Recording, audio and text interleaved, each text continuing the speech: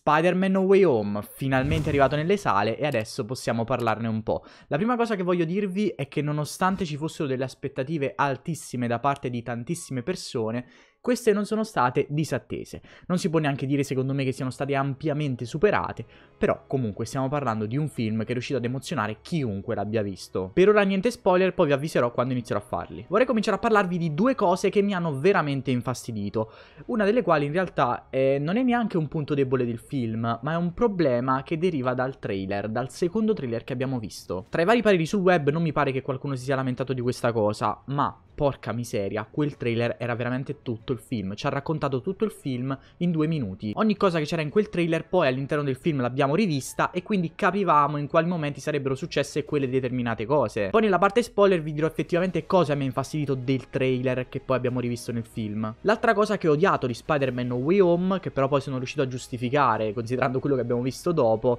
è assolutamente il pretesto della trama, ciò che dà il via a tutti gli eventi. Questa cosa era già presente nel trailer cioè l'incantesimo che fa Doctor Strange per far dimenticare a tutti chi è Spider-Man, però diciamo che nel film aggiungono qualche dettaglio e quei pochi dettagli che aggiungono mi hanno irritato ancora di più. Ma il motivo per cui questa causa scatenante di tutta la trama mi ha lasciato veramente così è perché semplicemente quello che vediamo dopo dovrebbe essere, ed effettivamente nella seconda parte lo è davvero, molto profondo, ricco di tematiche importanti. È sicuramente il capitolo di questo Spider-Man di Tom Holland più cupo, drammatico e soprattutto da prendere sul serio. E parlando proprio di serietà, un'altra cosa che non mi è andata giù è proprio il tono generale che c'è stato nel film, soprattutto nella prima parte. Perché sapevamo, ed effettivamente in tutti i film di questo tipo, ci sono sempre state delle gag, delle battute comiche per smorzare i toni, però diciamo che per questo film che affronta queste tematiche in questo tipo, con alcune scene veramente che fanno venire lacrimoni, mi ha un po' spiazzato. Infatti, almeno nel mio caso, alcune battutine le ho trovate veramente infantili, altre ci stavano, però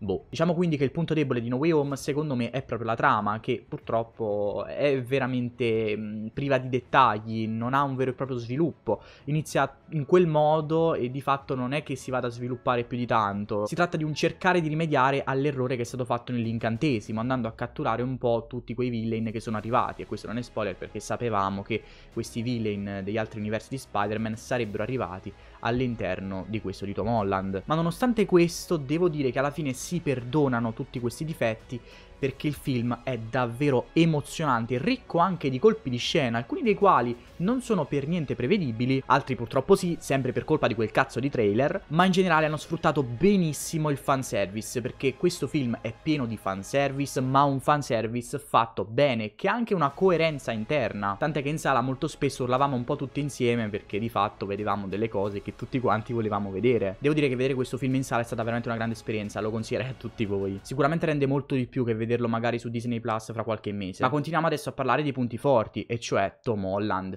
Tom Holland ci ha regalato un'interpretazione di Spider-Man spettacolare, secondo me la migliore di qualsiasi film live action di Spider-Man, superiore a qualsiasi film di Andrew Garfield e anche secondo me di Maguire, per quel che riguarda proprio la sua interpretazione. È proprio un film che va a chiudere questo capitolo troppo divertente, spensierato, adolescenziale della sua vita per diventare effettivamente una persona nuova, un vero Peter Parker. Abbiamo sempre pensato infatti che Tom Holland avesse sempre avuto un po' troppi mentori, e prima Tony Stark, e poi un po' Mysterio, e adesso Doctor Strange, e fatto rispetto allo Spider-Man di Andrew Garfield e di Tobey Maguire non aveva mai avuto chissà che traumi a parte la morte di Tony Stark. E invece all'interno di questo film soprattutto a causa di un colpo di scena che ci trova verso la metà del film finalmente Peter inizierà a cambiare a maturare tantissimo fino alla fine che secondo me è veramente spettacolare. Il finale di questo film l'ho adorato. Un'altra questione molto interessante del film è che la questione dell'identità rivelata di Spider-Man non dura così poco come pensavamo, ma dura per buona parte del film. Tutte le ripercussioni dell'aver rivelato la sua identità si fanno sentire non poco. E anche vedere le reazioni dei vari personaggi è stato veramente divertente. Per quel che riguarda invece la questione dei villain, secondo me l'hanno trattata benissimo. Octopus secondo me è spettacolare, il mio preferito in assoluto per come l'hanno trattato, e anche Green Goblin, eh, William William Dafoe sembra non sia invecchiato di una virgola, veramente bravissimo. E fra l'altro vediamo veramente la cattiveria di Goblin all'interno di questo film, una cosa che un po' mancava nell'universo di Spider-Man, perché vediamo che Peter Parker di Tom Holland è sempre stato molto positivo ed ottimista, e invece all'interno di questo questo film dovrà veramente assumersi tante responsabilità, una frase che poi ritroveremo nel film anche in una maniera ancora più bella. Deve cominciare a prendere decisioni davvero importanti e questa volta non può pensare sempre e comunque di salvare tutti. Un po' come cerca di farlo capire Doctor Strange. Doctor Strange che ho apprezzato, anche se l'ho trovato un po' troppo divertente in questo film, perché anche con lui si vanno a costruire molte battute comiche. Mm, non so perché l'hanno trattato in questo modo, visto che comunque negli altri film era sempre stato un po' più serio come personaggio però magari potrebbe essere una cosa importante per collegarlo al film di Doctor Strange 2. Non ha un ruolo così grande come si potrebbe credere, ma comunque è stata una bella presenza. Gli altri villain come Electro, Sandman, Lizard vengono trattati un po' meno, però comunque li mettono dentro in una maniera interessante. No Way Home è quindi il film che tutti vogliamo vedere di Spider-Man, è proprio quello che ci aspettavamo, forse per qualcuno sarà anche qualcosa in più, per qualcun altro qualcosa in meno, ma secondo me in linea di massima è piaciuto un po' a tutti. Purtroppo la sceneggiatura di questo film è un bel problema, aggiungiamoci anche tante forzature di cui non vi ho parlato, però ce ne sono tante, ma fortunatamente riesci a dimenticartene di queste forzature per quello che poi vai a vedere dopo. Vi ricordo anche che ci sono due scene post credit, la seconda è molto particolare, la trovate proprio alla fine dei titoli di coda, la prima non mi è piaciuta tanto, poi ne parliamo meglio nella parte spoiler. Un'altra cosa molto bella è stato proprio il confronto che hanno avuto questi personaggi tra villain e villain, anche un po' eh, interfacciandosi al nuovo universo in cui sono arrivati, è stato veramente bellissimo vedere ogni cosa che dicevano. Per quel che riguarda le scene d'azione mi sono piaciute moltissimo, alcune veramente super super emozionanti, anche se se a dirla tutta ho preferito i momenti di dialogo, eh, di dialogo serio però rispetto alle scene d'azione. Se non avete quindi ancora visto il film io vi consiglio di andare a farlo subito, adesso vi parlo un po' di alcune cose, spoiler. Iniziamo parlando dei tre Spider-Man che sì ci sono nel film, ma era il segreto di Pulcinella, lo sapevamo tutti di fatto. Però devo dire che il modo in cui li hanno messi dentro mi ha divertito non poco e ha divertito un po' tutta la sala. Non sono riuscito a capire niente di quello che hanno detto Maguire e Garfield appena sono arrivati all'interno all'interno della, della, stanza nella casa di Ned perché hanno urlato troppo, però diciamo che si sa, questa è l'esperienza al cinema. Mi è piaciuta molto la coerenza che c'è stata con gli altri film di Spider-Man perché loro hanno comunicato un po' a Tom Holland dopo aver perso Zia May perché eh, arrivano in questo momento in cui muore Zia May, cosa che non mi aspettavo sinceramente, non pensavo morisse Zia May, eppure lei rappresenta proprio lo zio Ben degli altri Spider-Man e quindi da questo capiamo che si tratta di una origin story e che quindi questo film No Way Home rappresenta la vera origin story di Spider-Man. Ciò vuol dire che dal prossimo film, perché ne hanno annunciati altri tre come sapete, vedremo finalmente un nuovo Peter Parker, la rinascita di Spider-Man. E la cosa più bella è che noi abbiamo sempre pensato che Tom fosse stato uno Spider-Man un po' troppo fortunato rispetto agli altri. E invece alla fine di questo film perde tutto. È un finale abbastanza tragico, nonostante finisca bene alla fine il film. Nessuno più si ricorda di lui, si assume una grande responsabilità, decide di cambiare completamente vita, di trasferirsi e di ricucirsi da zero il vestito. Quella cosa è bellissima, ragazzi. Finalmente decide di lasciare da parte la tecnologia lasciatagli da Tony Stark per iniziare la vita da un nuovo Spider-Man da zero. La cosa che più mi è piaciuta è che abbia deciso di lasciare da parte MJ e Ned, perché di fatto è una cosa che ha assolutamente senso. Una nuova vita che rivedremo all'interno di questi nuovi film. Comunque tornando ai tre Spider-Man, diciamo che Maguire è quello che fa un po' più il saggio come Spider-Man.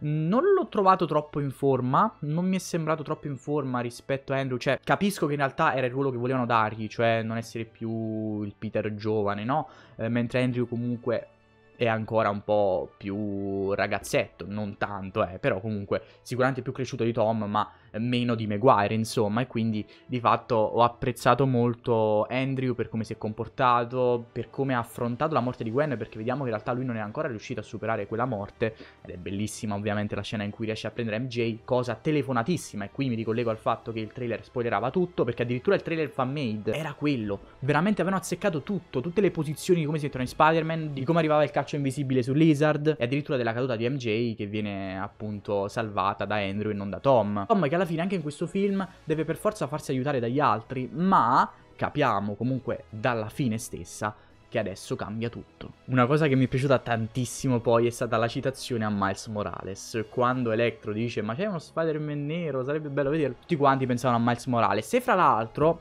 Poco prima di entrare in sala, io mi sono ritrovato nel mio cinema questo poster che vi sto lasciando a schermo. E io stavo per morire dentro perché era uno spoiler enorme. Anche se per fortuna a quanto pare era fake. Eh, visto che Miles di fatto non c'è nel film, ma ci sono soltanto gli altri due, ma penso che comunque questo qua era un poster fatto fan-made da qualcuno. Ci sono tante citazioni e parallelismi con gli altri film di Spider-Man, è come se questo fosse la fine di, di, qualcosa, di tutto quello che è stato creato fino ad adesso, per poi iniziare altro. Però appunto con lo Spider-Man Tom Holland e non con gli altri due. Che chissà se mai avranno un nuovo film, in realtà non è che sarei troppo curioso di vederli.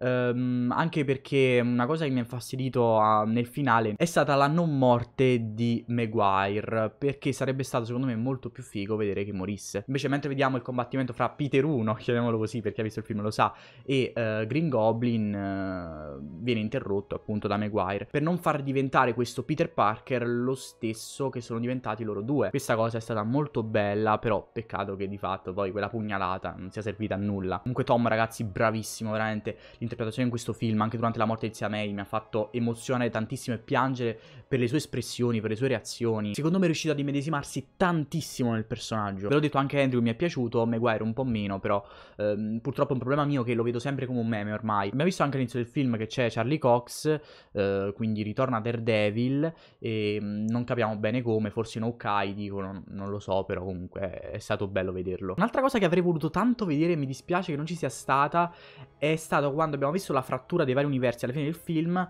che viene interrotta, mh, diciamo, subito quando Peter uh, decide di, di, far dimenticare a tutti chi è. Peccato però che mi sarebbe piaciuto vedere un po' di cose a caso, magari tantissimi villain a caso, Spider-Man a caso che saltavano fuori, proprio così, giusto da vedere per qualche secondo per creare un po' di hype, però non fa niente. Per quanto riguarda le scene post-credit, la seconda è un trailer praticamente di Doctor Strange in The Multiverse of Madness, hype estremo, lo vedrò sicuramente, sembra essere fighissimo. Tra l'altro regista sembra Imi, lo stesso dei primi Spider-Man, quindi dicono che avrà un tono più um, da horror, di tensione, suspense, sono super curioso di vederlo. La prima scena post-credit che vi ho detto non mi è piaciuta tanto, perché? Perché c'è Venom e um, non ve l'ho detto, ma in realtà a me Venom 1 non era dispiaciuto più di tanto, ma non, non, mi è mai piaciuto il personaggio, mm, non mi è mai piaciuto come hanno trattato né Venom né tantomeno Tom Hardy come attore che interpreta Eddie. Mm, non lo so, questi film proprio di Venom non, non, li voglio vedere, non è che dico siano orribili, ma non li voglio vedere all'interno di questo universo di Spider-Man. E il motivo per cui però sono felice è che, nonostante la scena non mi fosse piaciuta tanto, è che comunque loro vengono rispediti indietro eh, quando se ne vanno insieme agli altri e quindi a quanto pare non li vedremo più in questo universo per fortuna, ma vedremo un nuovo Venom perché rimane la macchia di Venom. Questa in realtà mi sembra un po' una forzatura perché non ho capito come mai eh, venga teletrasportato, sì, eh, Eddie, ma non eh, quella macchia di Venom che comunque proveniva dall'altro mondo, pensavo che entrambe le cose dovessero tornare al loro universo, invece non so, mi sembra un po' una forzatura, non so se avete delle spiegazioni ok, però resta questa macchia e questa macchia creerà un nuovo Venom a quanto pare, che vedremo in questo universo di Spider-Man. Quindi io adesso penso che i prossimi film, a parte che il prossimo sarà secondo me bellissimo, sono super in di vederlo perché eh, sarà l'inizio vero di Spider-Man, di questo nuovo Spider-Man più maturo, più cresciuto, che magari si scontrerà con Venom o magari arriverà Miles Morales, che oramai hanno inserito, quindi... Quindi ragazzi, ho apprezzato tanto Spider-Man No Way Home, riesco a passare sopra i vari difetti che comunque purtroppo mi hanno infastidito, ma principalmente quel trailer maledetto che ha spoilerato un sacco di cose. E mh, mm, voglio sapere la vostra opinione. Detto questo, seguitemi i vari social se vi è piaciuto, lasciate mi piace, noi ci vediamo al prossimo video.